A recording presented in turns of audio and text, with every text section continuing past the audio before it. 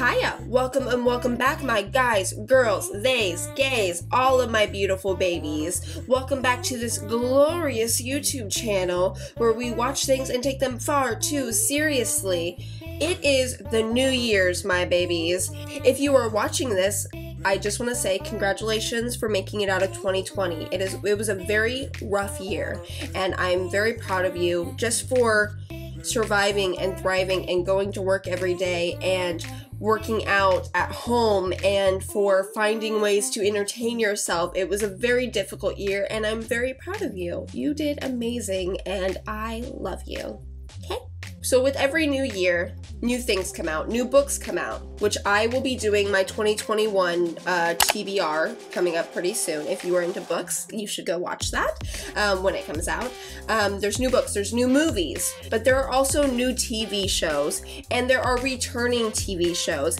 And if you know me, you know that your girl loves true crime. So, keeping in the theme with true crime, one of my favorite TV shows that came out that I didn't review because I didn't have a YouTube channel back then, but now I do, is Prodigal Son. If you've never watched the show, it is about a guy named Malcolm who is a criminal psychologist who works with the NYPD to help solve certain cases involving murderers. But the reason why he is so good at it is because his father was a serial killer. Growing up, his father was a serial killer, one of the most notorious ones. So he works out of that trauma to solve cases. Instead of do- watching every episode, because your girl does not have time with a full time job, so I thought, hmm, what's a weird way that we could recap? And I thought, ooh, convoluted recap time.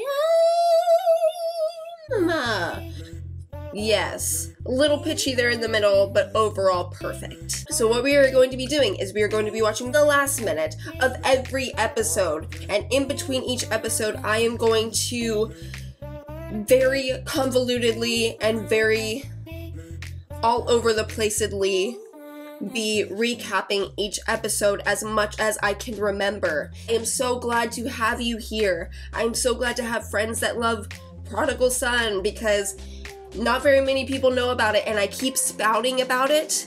Like Prodigal Son and Queen's Gambit are the two things that I'm like, so have you seen this? And people are like, uh, no, I'll get around to it. I'm like,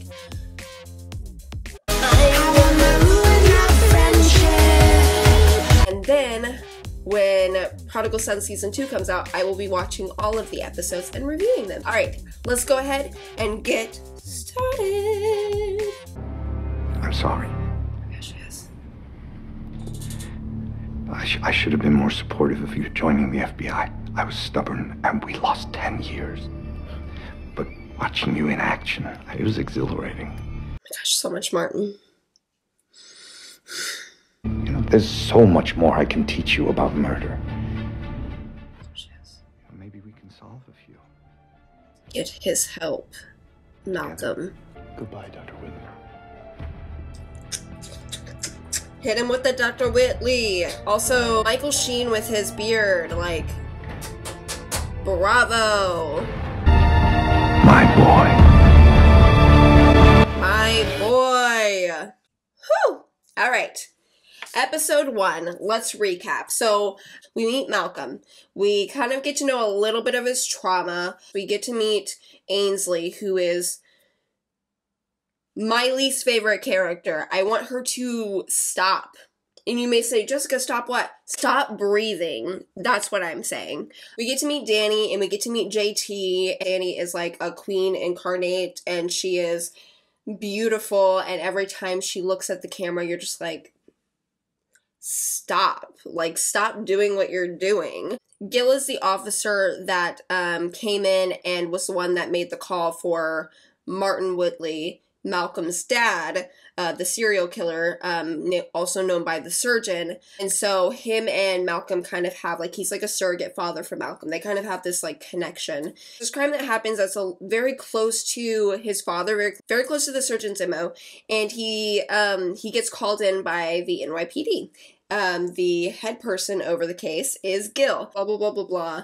Um, Malcolm chops off a man's hand to help him from exploding, and he was using the help of his father to solve this case before he chopped off that man's hand.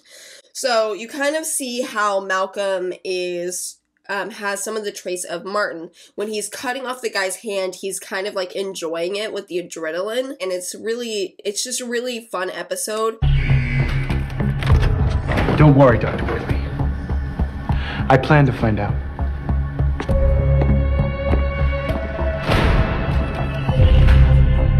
Good for you. He came back?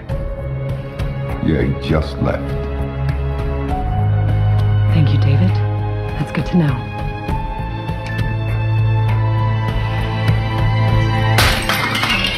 I'm be real honest. I don't know what happens in this episode that isn't a main arc point.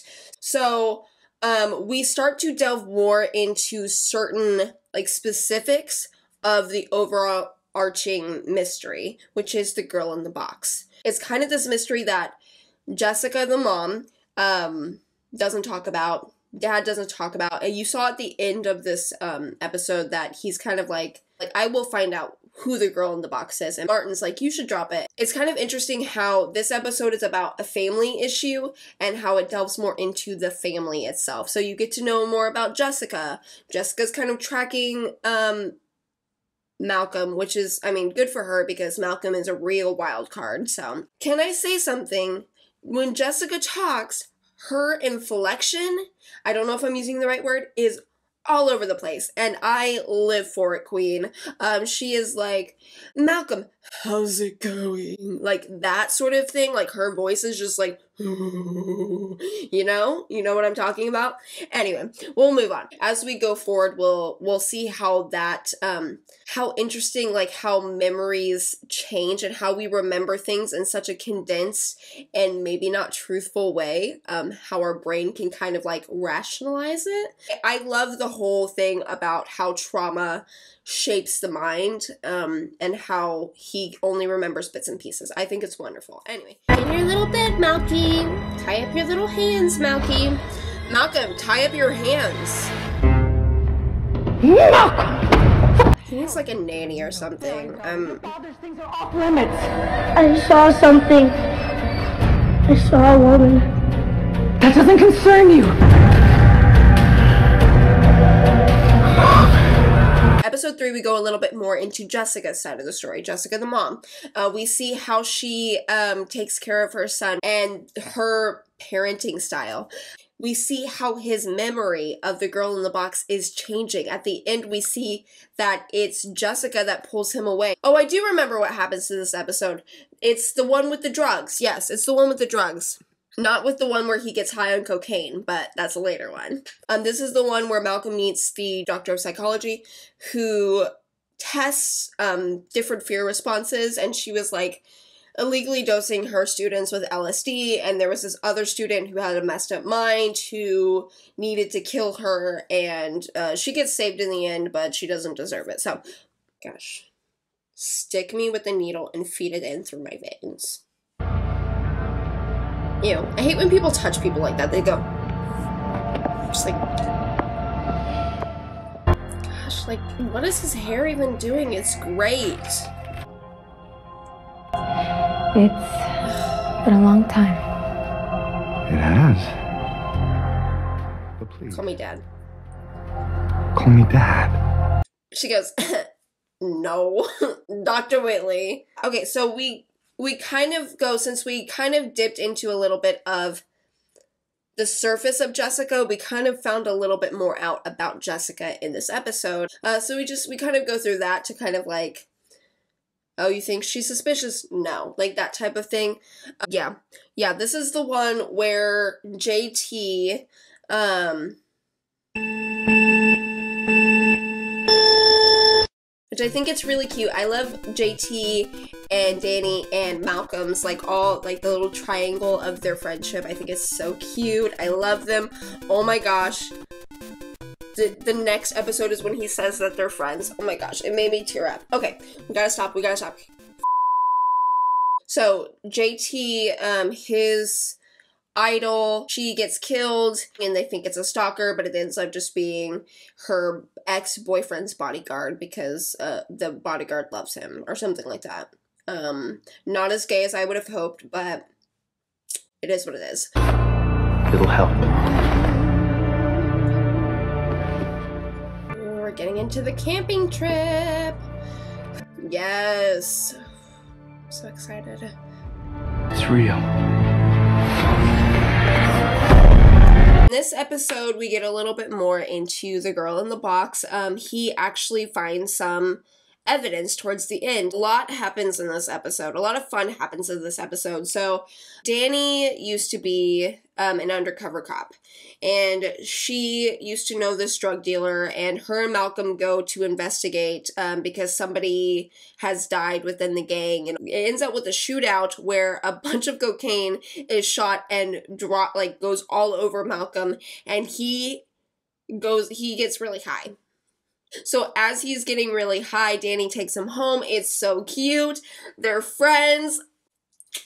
I'm sorry, I get so excited because their relationship is so cute. Like I want them to stay friends, but then I also want them to make out. You know what I mean? You you get it? Like, okay. Um, she takes him home, she sees that he has restraints, and she goes, Ooh, okay, a little kinky, but okay. And he's like, No, no, no, it helps me sleep. We see him letting Dani into his life. It's really cute, even though he's like he's high right now, he still is letting her in. So it's really nice. What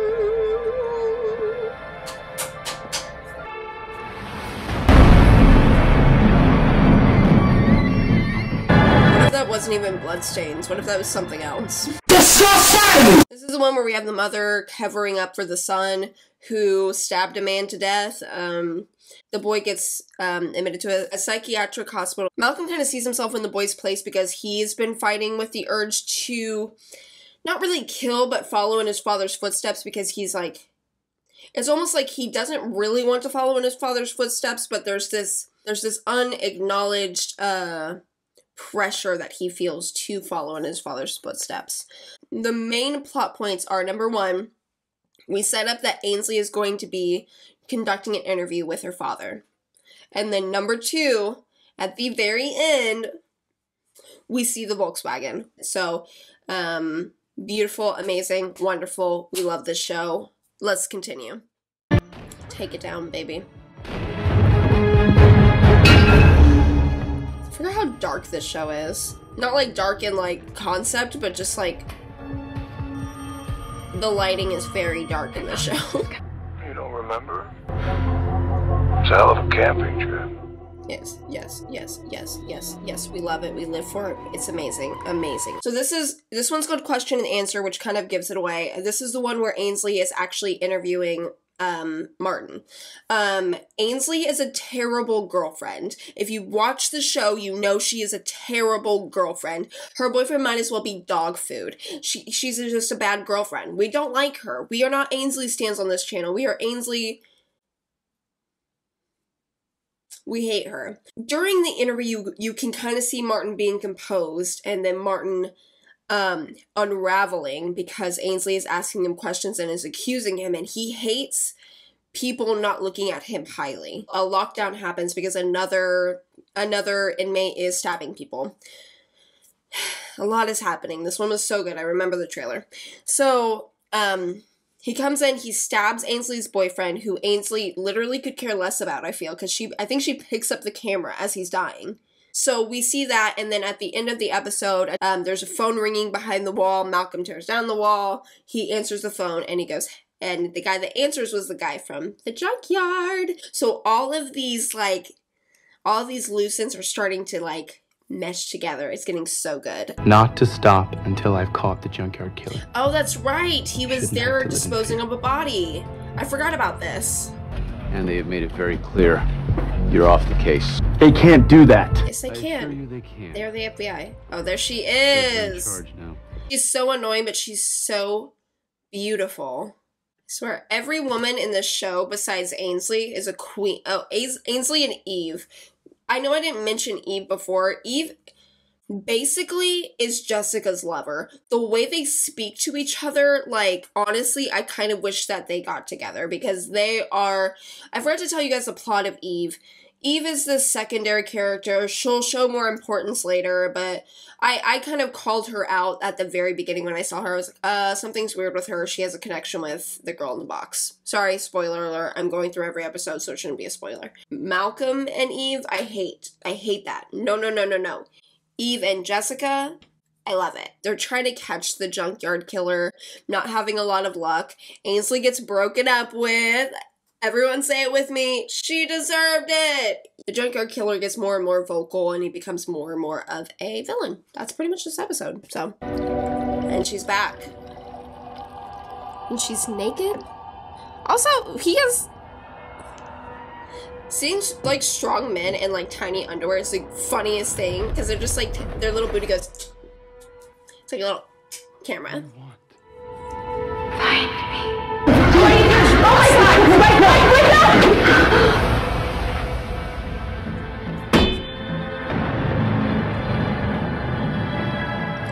Sorry.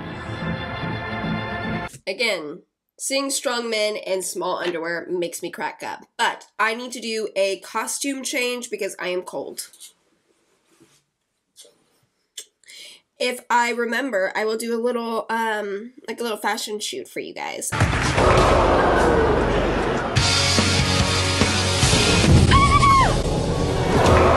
Um, I changed into my big snuggie. It! I have never in my life yelled at a girl like this. I was rooting for you. We were all rooting for you. It's kind of cute, I guess. Anyway, we go more into Eve and Malcolm's relationship. They sleep together. He almost slits her throat. I kind of wish he did. Eve is such an annoying character. I don't like that. Anyway, so that's just a personal preference, I guess, but I it's not my favorite character. So Eve and um I almost got her Lana Del Rey. Throw my hair up real big, beauty queen style. Um Ainsley. Totally different. Even Ainsley just can move on. Like I don't want them here. So in this episode, basically, um what happens in this episode? Yeah, this is the one where it, it this plot is unimportant. Like you can watch it, but it's just kind of like this entire episode's like not my favorite. So I'm not gonna go into the plot too much. Dad buy you that? He's so handsome. Why are all the killers Everybody handsome? needs a good knife. You never know when it'll come in handy. You can tell my type. Dad says that too. Smart guy. Although his his mustache needs to do a little, s- You see it? but you know. Hmm. Yes, yes. Ooh, what is he covering? Is it a woman? It's a woman. What's in the trunk? I'll tell you. It's actually not a woman. I forgot what it was. Okay. So in this one, we go a little bit deeper into the um, junkyard killer and how close he is to the um, Whitly family. Um, we get to know that he is super close, like that he used to be partners with um, Martin. Yeah, and Jessica finally starts getting into believing that there is a girl in the box, and so she puts out like she does like a press thing where she goes, if if anyone finds out who the girl in the box is, I and she like she she like has like a necklace that she finds. I remember that. I remember that. Okay, yeah. So we we just go more into it. There's a guy that helps Malcolm um find out that the killer's real name is like John Watkins or whatever and that he has a grandmother li- that lives um close by and so they go to the grandmother's house. The grandmother's crazy religious um crazy weird and she like would lock him in and be like oh not until you read every line of the bible something like that. And um towards the end he gets knocked the heck out by uh john uh, i remember this one Where's the hand? Where's Watkins? Is he? Did you? No. why is malcolm looking more and more like that guy from charlie's angels um, not into it, and I want him to change it. Junkyard killer named John, he kidnaps Malcolm. We kind of get more and more into the backstory of the road of the road trip that he had, but it's we are hearing it from an unreliable narrator. Because John has his own side of the story, plus he has his own sort of like his own sort of biases that he wants to put into Malcolm's head. Then at the end, John, we find out that the place where John kidnapped him is not a cabin at all because they kind of did like the thing was like we're like oh he might be at the cabin he might be at the cabin. He's not. He's underground. There's a tunnel that leads from that underground to Martin Whitly's office that was closed off and then to to the the actual Whitly estate. So he goes in, he's in their house, he tries to kill um Ainsley and tries to kill uh, Jessica. We see that Malcolm's kind of faced with a dilemma. He can either kill him or he can do something else. He puts him in a box. I would have killed him because if it was my family, I would have slit his throat like no no other. Like let's be real. If he tried to touch my sisters, I would kill him that's just how it works. Um, I'm very small, but I have um, the years of brainwashing that true crime has done to me. We've ended the um, the plot line of John Watkins. So, sad because he was very attractive, but you know, it is what it is. I know you're there. I get it. It's his mother. Of my subconscious. It's also devastating. Oh, that's right. You, Yeah, that's right. He gets and- like officially fired. I love being ghosted by my own ghost. I love that chess set though. Queen's Gambit match? Yeah, this is the one where there's the cult like thing, the cult like institute, people keep disappearing. Um, Malcolm goes and inserts himself in there against um, Gil's wishes. Anyway, so he does something pretty drastic that has a um, a federal psychologist or whatever um, come in psychiatrist sorry um, and then we find out that um, uh, malcolm had set this whole thing up like with between him and gil to kind of um, undermine the psychiatrist who is actually a mole in the FBI. He's been helping with these kidnappings and this cult thing. So, yeah, very interesting, very fun episode. If you want to watch, if you like episodes where like the episode is like 10 steps ahead of you and you don't really know what's happening, this is the episode to watch. It's really good. We're ready for you. I'll see you later. Who let her have this job? Nothing like a wedding to remind a girl why she's single in the first place. Well, that was a heck of a show. What should we watch next? Cute. I love it. Okay. Because Ainsley has been getting more on her dad's side, um, this is I think this is one where we explore more of her and Jessica's because her and Jessica's relationship has been a little rocky to say the least. So oh yeah, so he is put on a like he's put on a mandatory vacation because the last episode they were like oh ha, we tricked him because you know his mental health but then gil is like hey um jk you're actually going on a vacation you need to leave yeah because malcolm like Dani are talking there's a very about specific way that you that you um And I'm talking to you. that you stab like right here to inflict the most pain.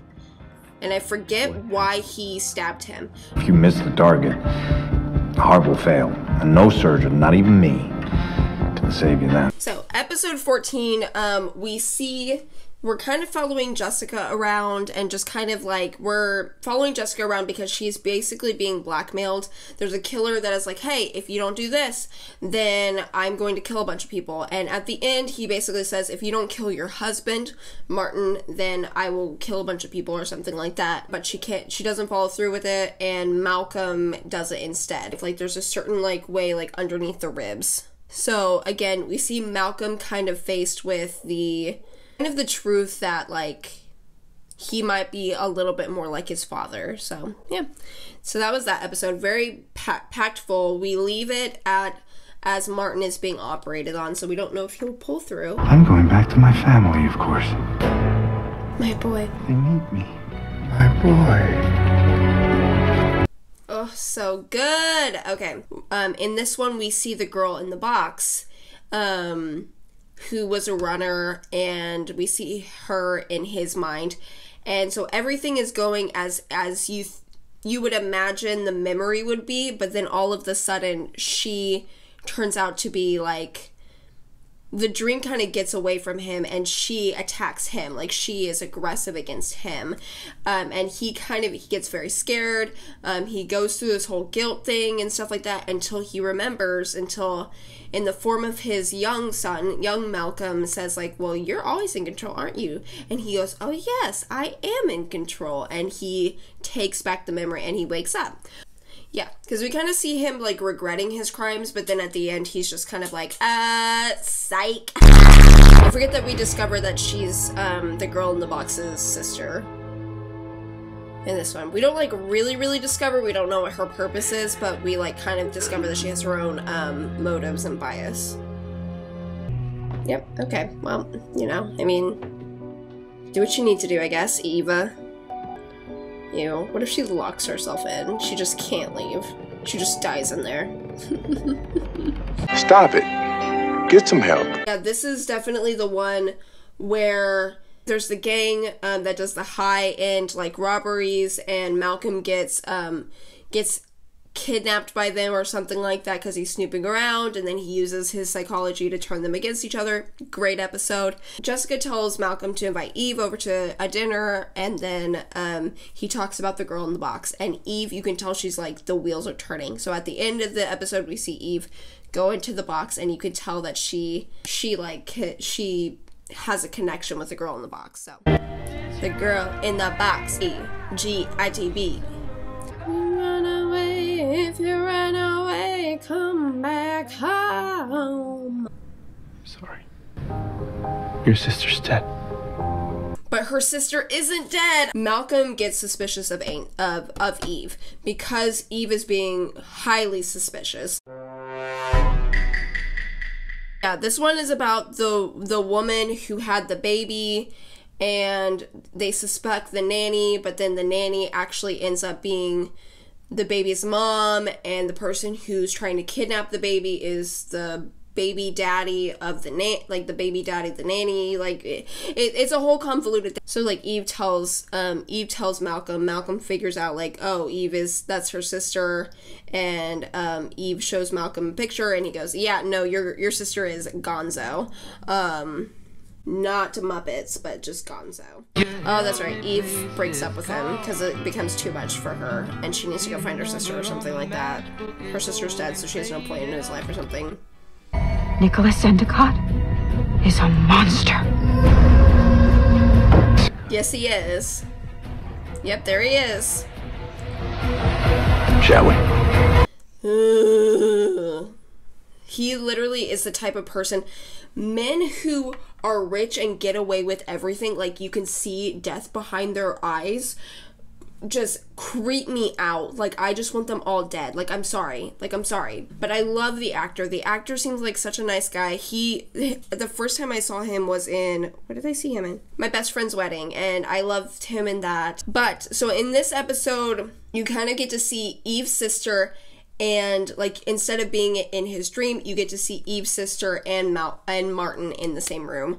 Um and so like as he's about to kill her this is she's the woman that was taken on the on the on the trip. Um as he's about to kill her his son wakes up blah blah blah blah blah. But she says hey i have a bunch of information that would be useful to you. I was mixed up in the wrong crowd and she's like, "So, um, Nicholas Endicott, he shady AF. So you, you, mm, I could give you information about him. So incredible, amazing, wonderful. Do you ever look at someone and wonder what is going on inside their head? Just like, all the leaves are brown, and the sky is gray. All the leaves are brown. Okay, starting. Shut up, Jessica. That's impossible. Sorry. Gil, you know I didn't do this. Malcolm Bright, you're under arrest for murder. So good. Okay. Oh, Edrisa. I haven't even brought her up this entire. Let, let's just take a second to acknowledge Edrisa. Edrisa is my baby from Gilmore Girls. She is perfection. She is me. She is like a fanfic writer. She fangirls all over Malcolm. Um, Malcolm's not really my type, but I would be the same. She is a coroner. She is so smart. She is so beautiful. She is a queen. Her, Jessica, and um, Dani, all queens. All queens. I'm sorry. Oh, crap. You dropped this. It's your crown. Queens. This is the one where everyone is suspicious of Endicott, as they should be, because he is. He is so creepy. Like, everyone knows it, but he keeps paying off people, threatening people. Yeah, Endicott is like going on the. Like, he, he orders someone to kill Dr. Whitly, which is like if anyone touches Dr. Whitly, I'll kill them. But Dr. The Dr. Whitly like overpowers him because he's the doctor. He's wonderful. We love him. And he gouges his eyes out. Like, oh, I forgot about that. He just goes like, oh. I love it. I love true crime. Gil and Jessica are kind of together at this point because Jessica knows that Endicott is shady. Um, Malcolm knows that Endicott is shady, but at the end of the episode, we see him be arrested. This episode should just be called Endicott is shady. Episode 20! This episode has one of my favorite scenes. I'm just gonna give you a little hint. Did you get it? It's my least favorite person, but my favorite scene. Let's go. We'll find the evidence. The Yes, yes, witnesses. yes, yes, yes, yes. And you think arrest you think Malcolm's gonna like The whole system You think. Malcolm's gonna break, and then you're like- anything I want. Ah!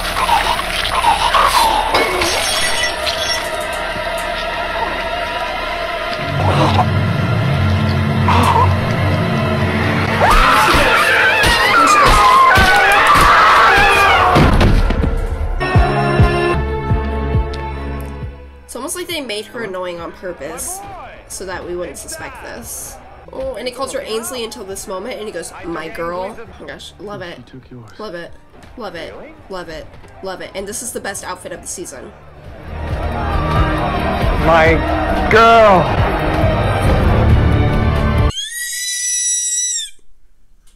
My girl, and her outfit be looking so cute. I hope that she is a serial killer in the next episode. If she's not, they're dep- depriving me of sustenance. I love how the next episode is Law and Order Special Victims Unit, which is Law and Order SVU is the best Law and Order. Like, let's be honest. Basically, this episode, somebody, um, Endicott puts a bounty on, like, he's gonna have Malcolm transfer, puts a bounty on the head, put puts a bounty on his head. There was this agreement that happened between Endicott and like Endicott and Whitly had met before. They had had communication and the only reason why they showed this is to show that even Martin is afraid of him. So everything comes to a head when Ainsley slits his throat and stabs him multiple times. Like I hated her, but then like when she did that, it came out of nowhere and I was like Queen! Queen!